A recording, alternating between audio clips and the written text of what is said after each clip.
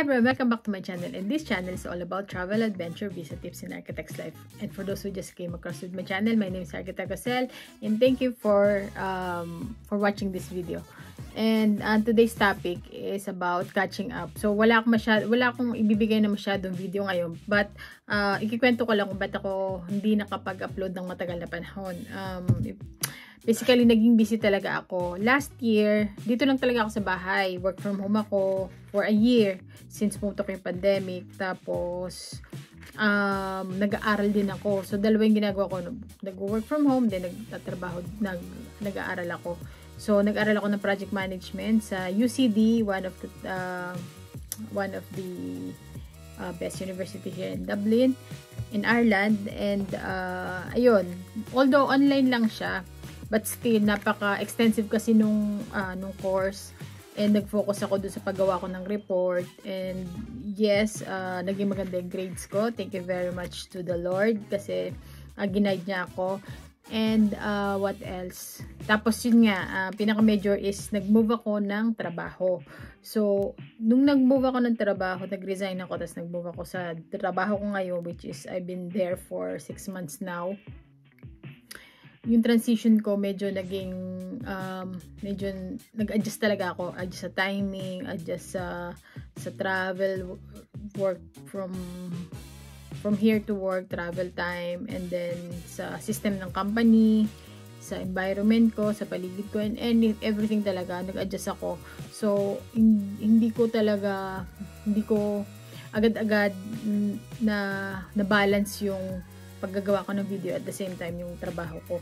So, nag-focus ako sa trabaho ko since I need to, you know, magpakitang gilas.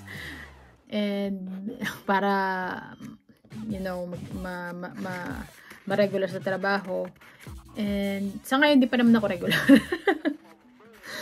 nandun pa rin ako sa, nandun pa rin ako sa probationary period ko. And, uh, So, yun guys. So, yun yung mga kinabisihan ko. And yun nga, yun yung pinaka-major dun is yung pagpasok sa umaga. So, before, ang pasok ko is 9 to 5.30. This time is 8 to 5. And maaga akong maalis. Yung travel ko from here to work, around 30 minutes sa umaga. Pero syempre, ano yun, with toll, nagbabayad ako ng toll fee, which is around 2 euro 10 cents a day. And, uh, para lang mapabilis ng pagpasok sa umaga. And yun nga, sa motorway yon motorway yung parang expressway sa Pilipinas. So, yun, yun yung uh, pinaka major um, pinaka major adjustment ko yung travel time.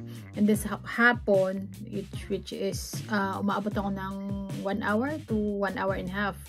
Kasama na yung traffic. Pero hindi na kasi ako nagtotol. Dumadaan na ako sa ibang way, which is longest period, uh, longest travel, which is, hindi naman kasi ako nagmamadali pa uwi, kaya medyo nagtatagal ako kasama ng traffic doon.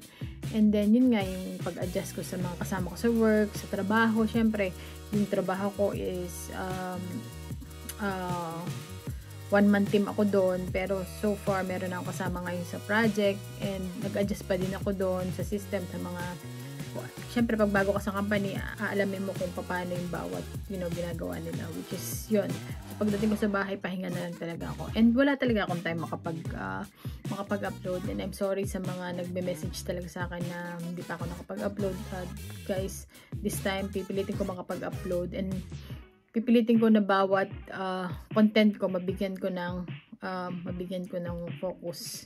Kumbaga, mabigyan ko ng uh, video. Uh, alam naman natin na pandemic ngayon talagang nanganganak ng nanganganak yung bari ay yung yung virus and uh, ayun niyang tumigil. So hopefully next year makapag-travel na rin. It's been a while since hindi na ako nakakasakay ng aeroplano. Siguro mga uh, if I'm since March 2020 the last travel that I had is in the UK which is after na nag-lockdown na and uh, na-stress kami kasi baka biglang mag-lockdown, nandun kami sa UK, patay. So, buti na lang, pagdating na pagdating namin sa Ireland nung last year, naka, biglang nak-lockdown and thank you, na nakasafe naman kami dito sa Ireland. And yun, and sana makauwi na rin ako ng Pilipinas. Ang tagal-tagal na since, yun nga, since uwi ko, December 20, 2019. And hopefully, next year, makauwi na ako. Talagang super, super duper miss ko na ang Philippines. Super duper ko na miss ang Jollibee. So, lahat yan na miss ko. Filipino food, na miss ko. Corned beef, dalang mundo na miss ko. So, yan yung mga namimiss kong pagkain. And I hope, tuyo, I like the tuyo. And then, yeah, sana makauwi na rin ako. And, um, yun nga, um, guys, uh, hanggang dito na lang muna yung video ko. And thank you for, uh, thank you for, um, subscribing sa mga nag-subscribe. Thank you for, for, for subscribing to my channel kahit hindi ako nag-upload uh, naniniwala pa rin kayo sa channel ko.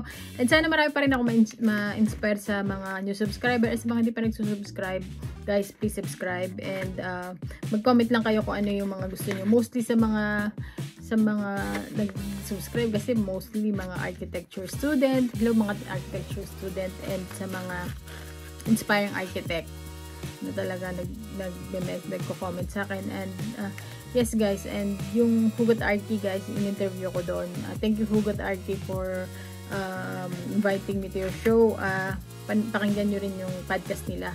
So yun.